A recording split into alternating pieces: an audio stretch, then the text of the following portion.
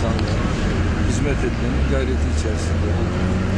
Şimdi de işte bu seviye böyle devam ederken sözünü yapalım.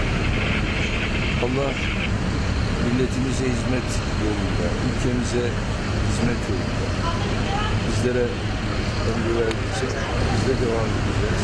Milletimizle beraber bir olacağız. Ve hedefimiz de tek millet, tek bayrak, tek vatan, tek millet. Yeter ki bir olalım, beraber olalım, biri olalım, hep birlikte Türkiye olalım. Çok teşekkür ediyorum. Sağ olun.